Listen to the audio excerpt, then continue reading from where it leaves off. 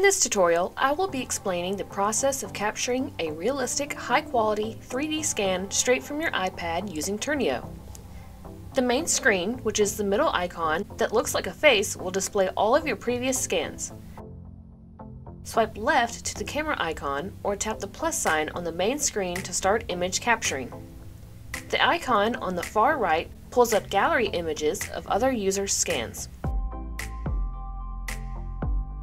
From here, you can also export or share your image using 3D Mesh or Sketchfab. Trnio has three methods of image capture and scanning. These include Object Mode, ARKit, and Photo Import. I will be focusing on the last two methods since these are most likely to produce a high quality scan. The ARKit method pinpoints features on the object as you move around and record the object. Once you are finished, it will assemble your individual points into a 3D scan. Photo Import takes a slightly different approach by compiling photos that you take with your iPad and assembling them into a 3D scan. If you would like to scan a person's face or an animal, make sure they will be able to stand completely still for at least 30 seconds to a minute. Or else this is what happens when your friend isn't very still.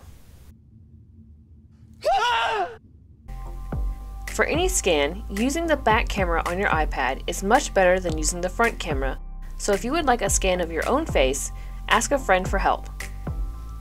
To get the best scan possible, you're going to want to plan a path around whatever object you are scanning before you actually start to scan. Having your object sit on a flat surface that has some kind of contrast will help Trnio distinguish your object from the background. Generally, you want to come in close as you circle the object two or three times. Make sure your object is alone on the surface you are trying to scan. The slower you move, the better the scan. For photo import, try and take a photo every 5 degrees as you are circling. Another tip to get a good scan is lighting. Natural light is always better than artificial light, but as long as you're in a well-lit area, artificial light will work fine. Small or skinny objects like a pencil or a plant with long branches, or objects that are too large to walk around or get a bird's eye view of, will not produce a good scan. Once you have finished your scan, click Done and Trnio will begin preparing your 3D image. This can take a few minutes.